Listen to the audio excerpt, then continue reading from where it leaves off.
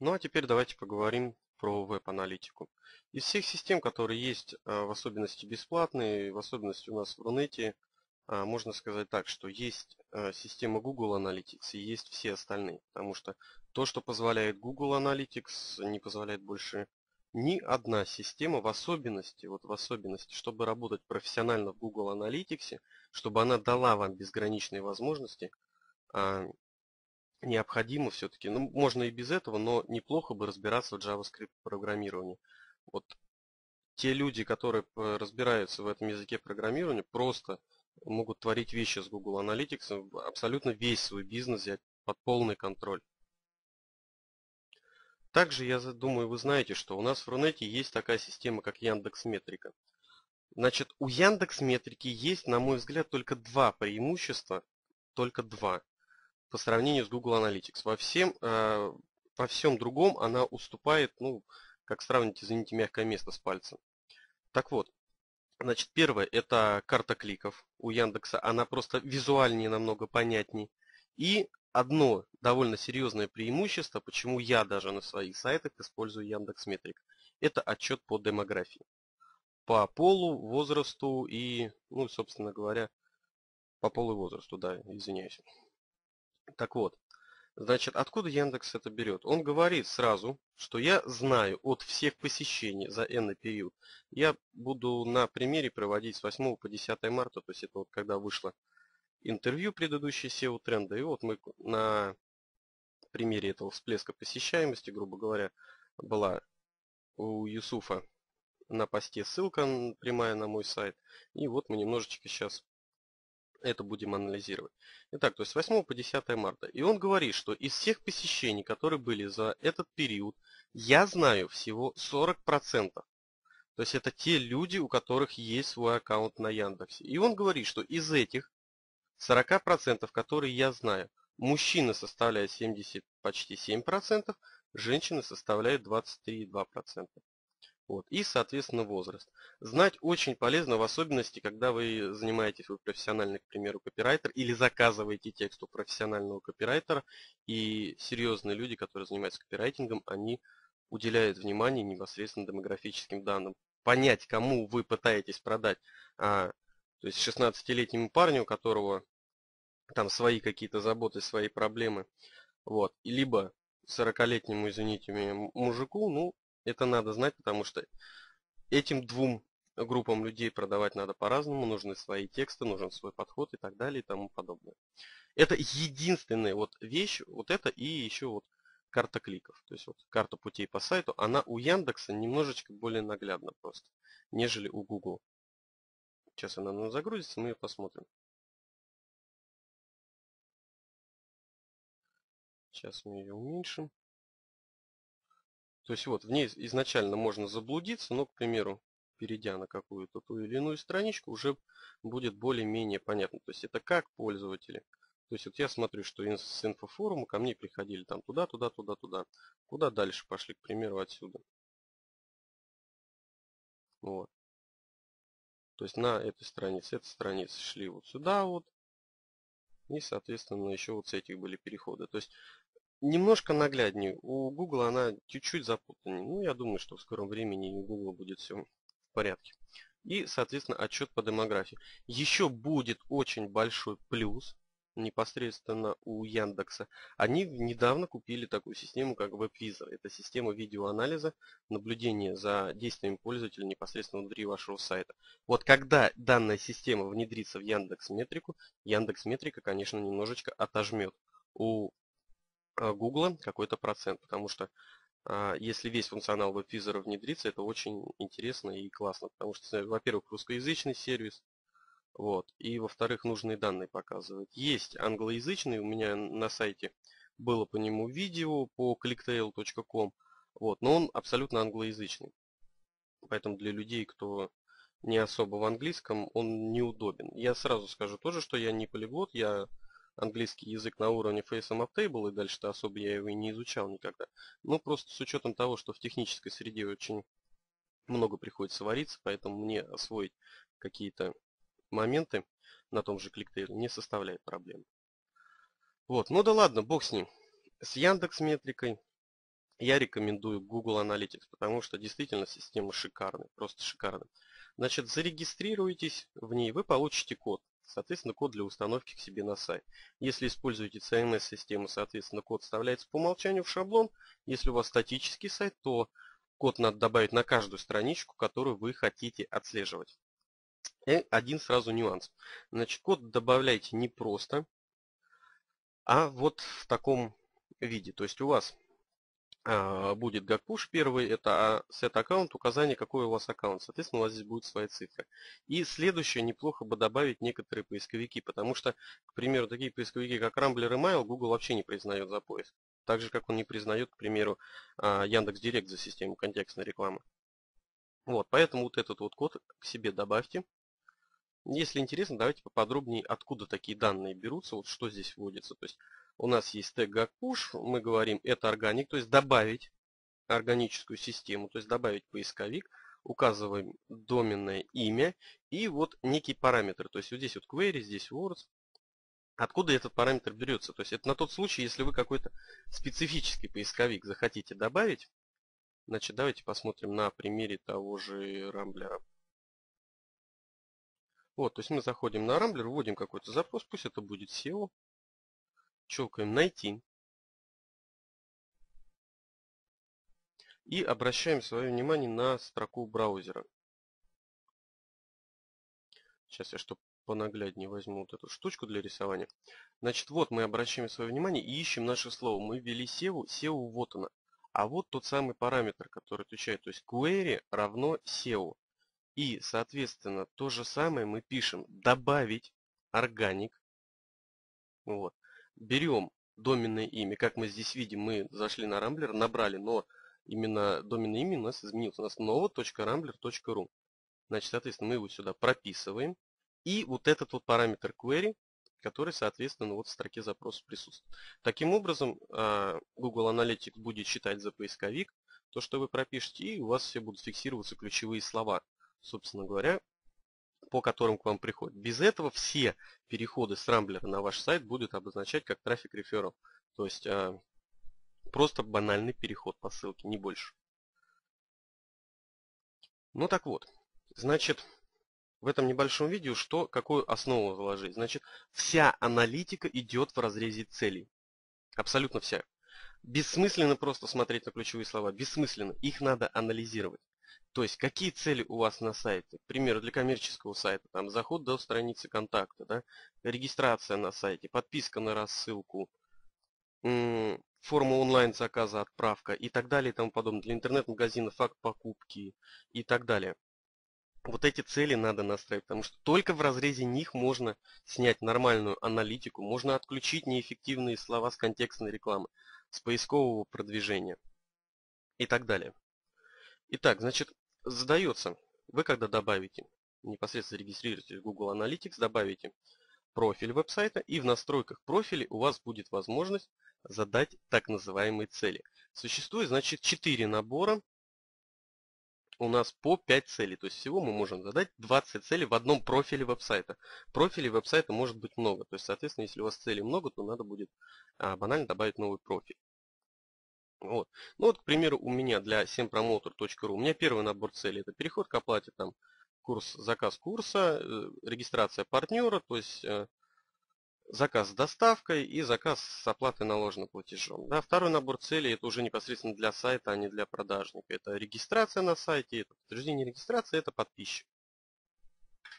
Вот, то есть грубо говоря, вот я это ввел, и уже в разрезе вот этих вот а, целей, это как бы основная метрика, я могу что-то проанализировать, определенные источники трафика и так далее, определенные ключевые слова. Вот, также есть фильтр, но о фильтрах разговор отдельный, потому что, ну вот у меня, если видите, есть полный реферал, а, специально там настроенный фильтр для контекстной рекламы во ВКонтакте, трафик без ВВП, э, исключаем редакторский трафик, но об этом о фильтрах пока рано. Для начала надо просто задать цели для своего сайта. То есть как они задаются. Давайте мы щелкнем куда-нибудь добавить цель. Давайте так, э, открою я свой сайт, мы посмотрим, что еще может быть на нем целью. Так, вот он. Накройся. И значит, что у нас здесь может быть целью? Ну, давайте предположим просто чисто для теста, что у меня здесь целью будет вот а, страничка зайти почитать об авторе, к примеру. Или вот, к примеру, на обратную связь.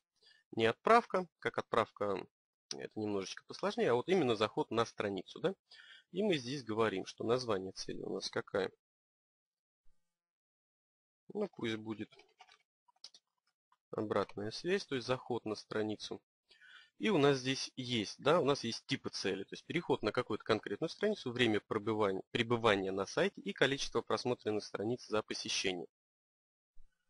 Нас сейчас интересует непосредственно переход на страницу, на конкретную.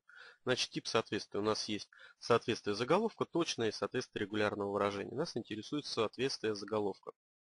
Соответственно, здесь вот справочки можно прочитать, что такое типы соответствия, то есть очень хорошо помогает, когда вы знаете язык регулярных выражений, чтобы задавать конкретные хорошие цели.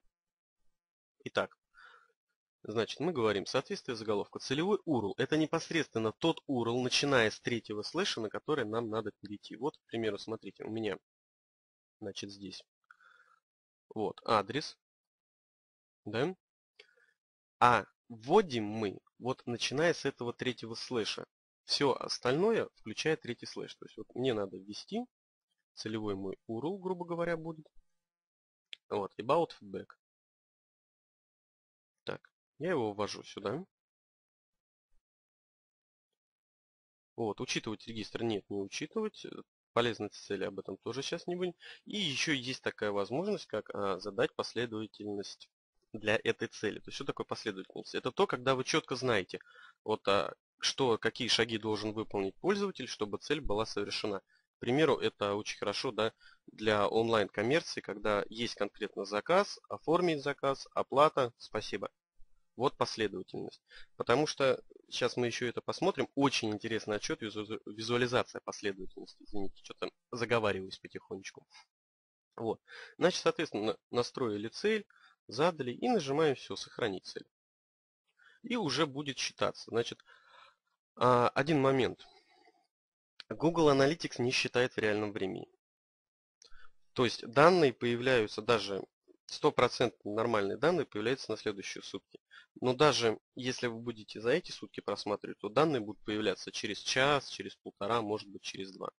Но это в принципе допустимо, это нормально. Значит, как задавать последовательность цели? Ну давайте вот рассмотрим переход к оплате цифровая версия у меня. Я щелкну изменить. И вот у меня здесь задан. У меня есть определенный целевой URL. И вот а, есть конкретные шаги, которые надо пройти. Вот данных. То есть данные ввел, страница оплаты и все. И вот на эту страницу окей, спасибо. Вот, соответственно, вы настраиваете уже цели под свой сайт. Какие они конкретно у вас, ну я не могу знать. Сразу хочу сказать, что Google Analytics может быть, придется немножечко поюзать, немножечко в ней поразбираться, но позволит вам практически любую цель настроить путем последовательности, регулярные выражения и так далее и тому подобное. Так, теперь что мы с этими, собственно говоря, целями делаем? Да, друзья, поймите меня правильно, я пробегаю все это быстро, ну, потому, что, потому что если у вас нет знаний в Google Analytics и мне вот так вот их вам выдать за раз, но это надо будет часов 5 просто сидеть и объяснять. Поэтому я даю больше конкретики и вот конкретно какие-то действия. Значит, переходим уже непосредственно в, то есть, а, в аккаунт Google Analytics, открываем профиль веб-сайта и переходим к данным.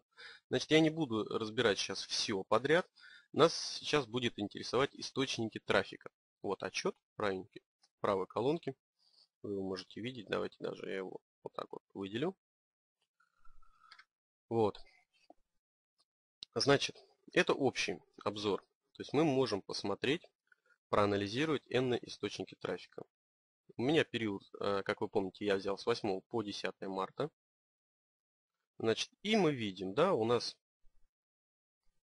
открывается и показывает, что за этот период был вот 51 источник, откуда переходили. Но это все хорошо. Вот я вижу, что с Russian Marketing шли, там прямой трафик шел, так далее и тому подобное. Но какой мне от этого смысл? По-моему, никакого. Ну, кроме как, как вот показатель отказов, я могу посмотреть еще что-то, какие-то моменты. Намного интереснее, вы уже догадались, это цели. Теперь открываю набор целей 1. Ну, обратная связь, да. Когда мы ввели цель, вот я сейчас добавил, да, к примеру, обратная связь, переход на страницу обратной связи, она еще не, она недоступна в истории. То есть на прошлых данных она работать не будет, поэтому будет показывать 0. Так, а вот теперь мы смотрим, с Russian Marketing были переходы, соответственно, вот такой процент к оплате, к доставке, заказы наложкой были. И также по другим смотрим. Прямой трафик, что принес, да, а, какой-то сайт, источник перехода. Ну, поскольку их много, нам смотреть неудобно, мы введем сейчас такой фильтр. Да, мы щелкаем расширенный фильтр, выбираем здесь, значит, переход. А какой цели мы можем? Хотим проанализировать, к примеру, ну, не знаю, давайте зарегистрируем партнер, да? И ставим зарегистрирован партнер и процент больше, чем 0. Вообще, лучше, конечно, есть такое правило, когда у вас уже много данных, к примеру, за 3 месяца берете, правило 1%. То есть анализируете источники, у которых конверсия больше 1%. Также и ключевые слова. Все остальное просто убирать. Но мы сейчас больше, чем 0, потому что у меня еще данных мало. Очень мало для анализа. У меня за месяц там за период было что-то в районе 6,5-7 тысяч посещений, поэтому это очень мало. Мы щелкаем «Применить фильтр» и видим все наши источники, откуда, соответственно, а, переходили и откуда был процент для достижения конверсии зарегистрирован партнер. И вот мы видим, что там такой-то процент, значит, у нас на Russian Marketing. Ну, то есть вот мы видим конкретно, какие источники работают. Когда полезно? Элементарно. Даете рекламу на сотни сайтов. Заплатили деньги. Какой сайт работает? Давайте всегда рекламу, а, если на сайтах там каких-то рекламируетесь, баннеры, ссылки и так далее, то всегда какие-то определенные тестовые суммы загружайте изначально. К примеру, 1002 рублей. На один сайт, на второй, на пятый, на третий, десятый. Дали, и вот у вас реклама прошла, и вы садитесь за анализ. Я вас уверяю, что если вы дали на 10 сайтах, из них отработают ну, максимум 5. Все остальное будет просто стоять. Следующее. Когда у нас есть органический трафик, да, когда у нас идут поисковые системы, вот у нас есть прямой трафик, сайты, источники. Вот мы смотрим, давайте посмотрим поисковые системы. Да, мы видим, что, к примеру, мы, во-первых, можем переключиться на оплачиваемый и неоплачиваемый. То есть оплаченный это когда к нам переходит с контекстной рекламы.